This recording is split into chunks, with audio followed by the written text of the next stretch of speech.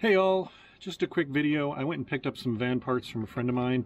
I didn't film the drive out there or spend while I was out there with him because I forgot the cable for my camera, so it turned out the battery was dead and I couldn't film anything. But I'm back home now with my haul. I just figured I would give you all a quick video showing what I picked up because I'm super excited about it. This is a friend who used to have Chevy vans like this. He recently sold off all of his vans. Um, actually missed timed it because he was the one who was going to give me the steel to patch those off of one of his vans, but somebody came by and picked up the last of them before I had a chance to get out there. So that's uh, something else I got to acquire, but that's fine because I got a bunch of other great stuff off of him. The best one part is I picked up this chrome vintage grill that is in basically perfect condition. It has one or two very tiny dings in it, but virtually invisible. And the chrome is all really nice. It's going to polish up perfectly. So I'm super excited about that. And then he also had the chrome surrounds for it, the Chevy emblem for the front. That'll need a little bit of touch-up paint.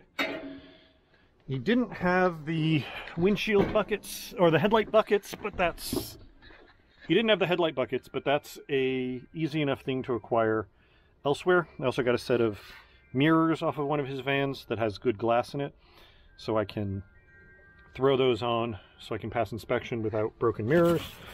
Whether they'll stay on or not depends on how nicely they clean up. And then over here, there's a couple side markers that I may or may not use. I may go with the fancier Boville markers instead of the simpler vintage ones. And in here I have a complete set of vintage taillights with the surrounds and the wiring harness. So that's super exciting. These are going to take a little bit of work to fit into the my later van, but they are a total they're a totally doable thing and something I'm it's awesome to be able to just get all at once. And then I just kind of took everything that he had because he was like I said he's got rid of all of his vans. That's just an extra doghouse that's going to get offered to somebody else, but I figured I'd grab it. There's an extra hood over here that again I'm going to offer that out for sale and then give him whatever money I make off of it. There's a spare upper um, radiator core support there, which is the piece that needs to be trimmed to fit this older style grill. So I'll have a spare one to test fit and everything with, and then cut up so I don't cut up my good one and then be left with none. And then way back there, you can see half of it. He had a nice heavy duty, I think it's like a 5,000 pound hitch the hitch is going to need some cleanup and repainting, but yeah, this is all, with the exception of headlight. He says he also had the, he has the front turn signals, which are impossible to find for this grill. He just hasn't located them, so he's going to throw those in a box and mail them to me when I get, when he digs them out.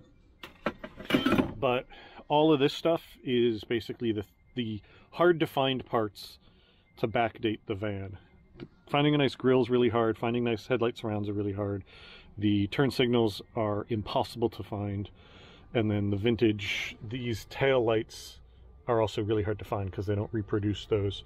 I may end up using the side markers he gave me or the uh, C10 pickups of the same era. They interchange with the same side markers, so I may get a set of those because they'll be brand new and shiny.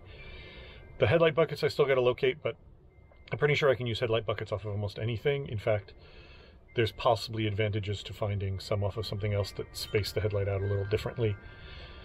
But either way, this is a massively awesome haul. This is a bunch of stuff that I was looking for. I knew he had the grill. I didn't realize how much other stuff he had. So this is awesome. I was going to go buy a hitch. I was looking for all these extra things. Yeah, I needed to buy side mirrors. This, this is great. I'm super happy that he was willing to give me all this stuff for a fair price. And I probably won't be installing all of this until the spring just because it's going to require a bunch of cutting on the nose of the van and some welding on the back of the van. And I've already got the rust repair I have to do.